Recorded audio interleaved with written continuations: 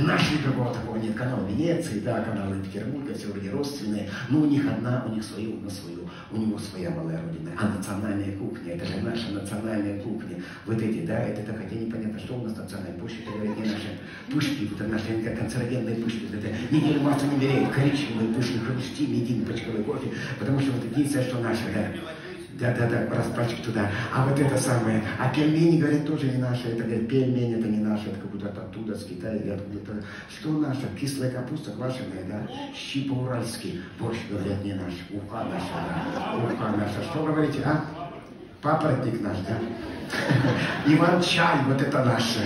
Иван-чай это наше исконное, да. А вот это наше, никто не знает все итальянскую кухню, знает рестораны, все это в мире, да, русскую кухню скажи, говорит, ну да, борщ, водка. Водка наша русская, селедка, водка. Вот селедка это все-таки все-таки где-то там в Скандинавии, да. А вот это водки напились.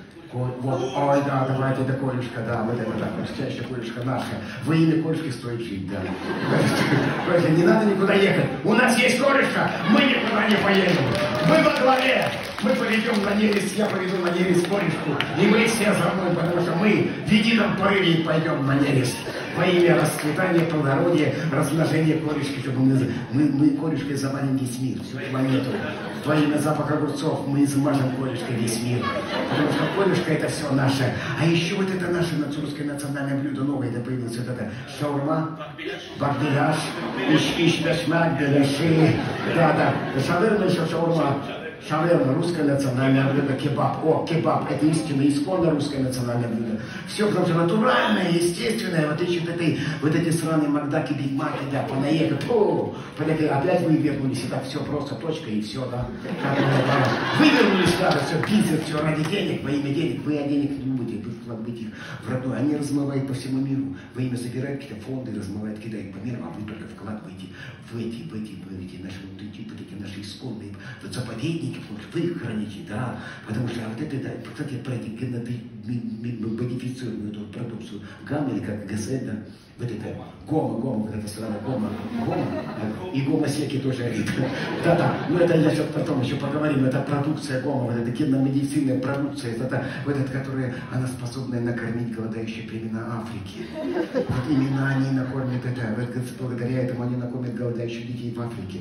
Вот этих маленьких растительщиков, пузатых, тонкими ручками, тянущих руки, дайте хлебушка, дайте зернышко. Они, а Санта-Клаус придет и скажет, дорогие дети, а кушать будет только тот, кто хорошо, тот, кто хорошо. Подарки получит тот, кто хорошо кушает. Тот, кто хорошо живет, только тот получит подарок. Потому что они думают о голодающих племенах Африки. Потому что в их альтруистическом сознании, вот они, они не думают о своих жал, вы, вы, вот этой э, алчной жажде на живедение, они думают все для всех, потому что это наша многострадальная э, шарик под названием Земля, планета в этой вселенной, в этой галактике мечется со всеми ее геополитическими проблемами, со всеми экологическими проблемами, и они думают об этой экологии, об этой продукции, об этой зерновой, об этом голоде и об этой проблеме даже питьевой воды. Именно они растопят айсберги, они будут поить эту землю, и они будут эти все племена, эти все, все страны, которые шагают, они думают о нем.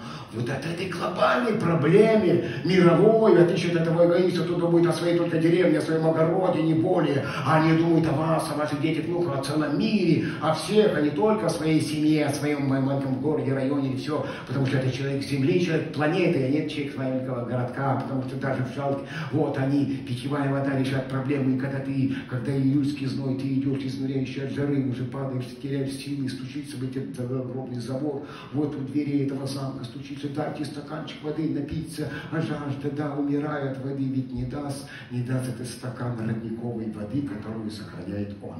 Из этого заповедника, из этого святого источника, ибо его, благодаря ему, есть этот святой источник. Не было бы его, и его бы не было. Вот.